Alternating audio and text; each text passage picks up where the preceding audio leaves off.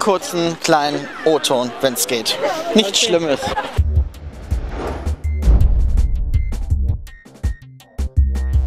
Ja, und hier sind wir wieder bei Nudo beim Fan-Treffen von Mirrors FX. Tommy ist bei uns. Wie nimmst du das so wahr, dass so viele Leute gekommen sind und ihr seid ja nur irgendwie, habt ja nur eine Facebook-Veranstaltung gemacht, Wir ne? haben, das, wir haben das zwei Tage vorher angekündigt und es sind so viele Leute gekommen, total krass. Also ich hätte nicht mit so vielen Leuten gerechnet, echt nicht. Es waren ja schon irgendwie über 160 Zusagen heute Nachmittag. Ja. Hat man dann schon irgendwie ein bisschen eher klar gekriegt, okay, das können nicht nur 20 sein, sondern kommen mehr?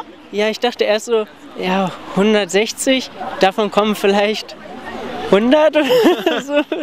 Aber war schon eine mächtige Zahl, also auf jeden Fall. Echt. Ihr kommt ja hier im äh, Schreiben und Fotos machen, äh, irgendwie habt ihr kaum eine Pause. Wir haben uns ja auch hier einfach mal so reingedrängt.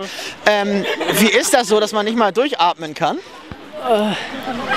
Ja, was soll ich sagen? Also es eigentlich ganz cool. Also es ist ja ganz locker chillig. Wir sind ja extra hier hingekommen, deswegen. Also von daher alles cool. Ihr habt einen großen Erfolg, ihr habt auch für Next Up beworben. Eure Videos sind auf einem sehr hohen Niveau. Wie glaubt ihr, wie groß ist die Chance? Bei uns schreiben die Leute, ja, das Ding habt ihr schon in der Tasche.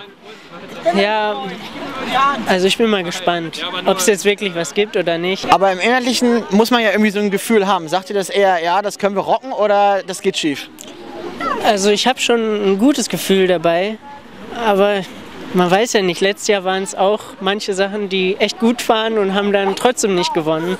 Also ich bin mir da noch nicht so sicher. Okay, erstmal dir vielen Dank. Wir machen was ganz Spontanes, weil hier so ganz viele Leute umstehen. Hat irgendjemand mal eine ganz ausgefallene Frage an ihn? Dann bitte einmal melden. Ah, muss jemand die Kamera? Hat keiner? Doch du, halt mal gerne auch drauf. Die Frage wäre?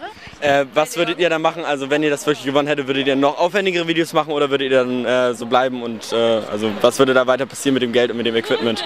Die Frage an dich.